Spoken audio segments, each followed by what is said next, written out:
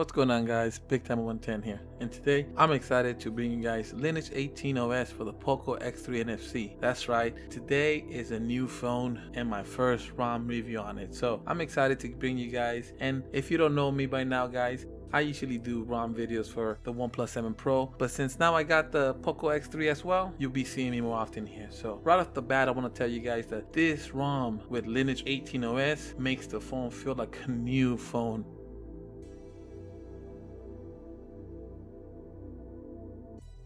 And uh, if you see here right off the bat, you can see that double tap to sleep on the home screen doesn't work unless you have the Poco launcher, I guess. But it's okay. We get the nice trebuchet launcher that got the Google Now feed on the left. And it's nice and smooth. There's no really any issues here with that. But let's go ahead and check out the double tap to wake. Bam, it's working. And look at this, guys. The fingerprint work. For me, at least, it, it feels like faster than when you have MIUI. So now, the camera that comes pre-installed is not that good, but just install the Gcam guys, and that will seem to fix all your camera problems.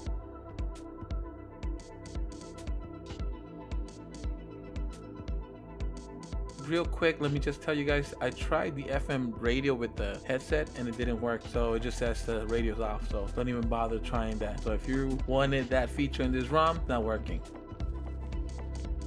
and uh, if you move on to the display here, the 120 frames per second, 120 hertz is working really, really great here. No problems or issues whatsoever.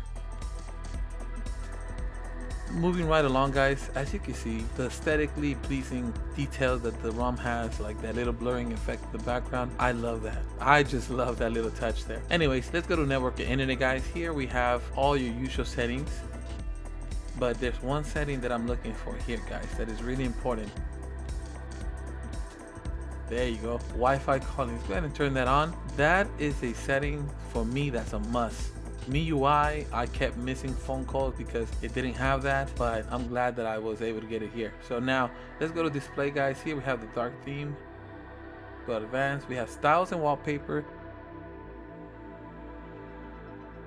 Here you could customize your wallpaper. You know, you could choose your style and even change the grid you know if you want to change the grid on your home settings you could uh, change that. And even you know you could choose a clock if you like. And we only have these three options unfortunately. But that's okay. Now if we go to let's see here. If we go to colors here guys we have natural boosted and adapt. I'll leave it at boosted because I like my colors colorful. And we could also change the font size the display size and what else do we have here? We have your lock screen notifications here, and you could also add a text to lock screen, you know, just in case you want to do that.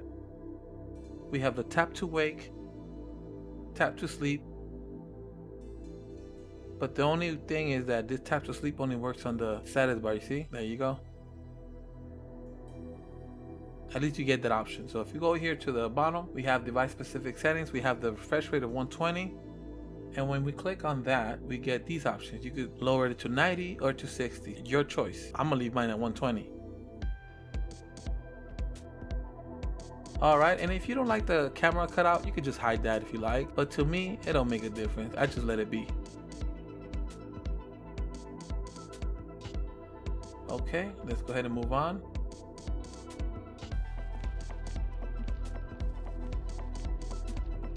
Here we have the ambient display. Here are the options that you have. You could turn it on, you know, on hand wave, you know, whatever you want to turn on here, up to you.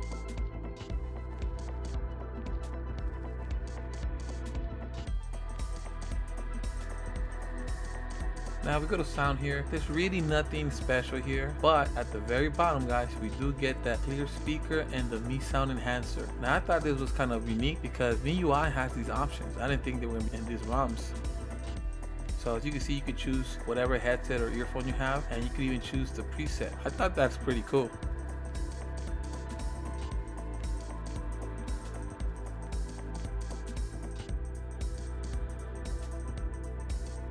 If you go to storage, you can see that I have the internal and I have a SD card installed and it's reading it correctly. And if we go to security guys, here we have screen lock, fingerprint, and we go smart lock, but we don't have no face unlock. So that's too bad, you know. Okay, if we go to system here, guys, we got many more options here, like buttons. We have the ability to invert the layout. We have the edge long swipe action. You got the end call, long press for the torch, which I love. You also get a bunch of other volume button options like uh, reorient and show the panel on the left if you don't like it on the right. So let me show you guys. It's right there, right? It's on the right. You turn it on, now it's gonna be on the left. So if you like it on the left, keep it on the left, but I'm gonna keep mine on the right. So let's go ahead and continue with this and move on.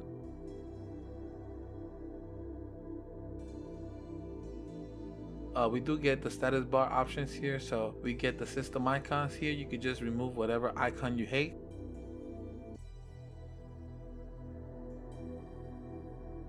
And we also have the clock position now usually i put mine in the center but with the cutout you know yeah it's not looking so good so we'll put it back on the left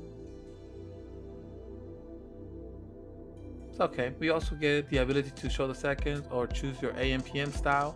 You could choose your battery style. You could do circle or icon attack. And you could even have the battery percentage inside or outside the icon. We also have the brightness options here. Okay, we go back to gestures here, guys. We do have the assist navigations. We get all three options here. So if you like the three, the two, or the gesture navigation, here you go. We also have the power menu and this is really good because it has advanced restart. So let me show you guys how that works, okay? So if you hold the power button, this will come up and you have all your Google Pay cards and everything there, your devices that in your home and also you get the options for power and restart. Now when you click on restart, you get these three options which is system, recovery or bootloader. That way you can just go straight to whatever you need. So if you need to go to the recovery or bootloader, boom, there you go.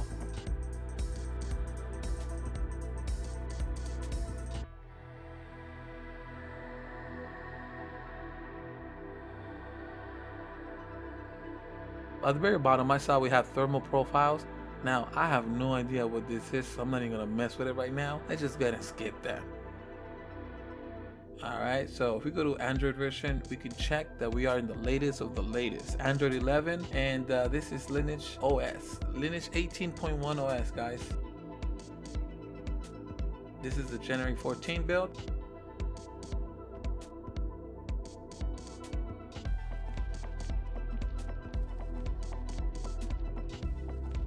This is our benchmark guys so if you guys are curious about the benchmark now let me tell you guys would i recommend this rom to you guys? On the poco x3 absolutely guys. The miui for me you know it was okay. I'm not a miui hater. I like miui but unfortunately for me the wi-fi signal was weak. I was missing calls. I had so many problems that i thought i was gonna have to install a rom and i did. And that fixed my problem. But guys thanks so much for everything. I appreciate if you subscribe and like the video. And like always guys i'll see you guys in the next video. Bye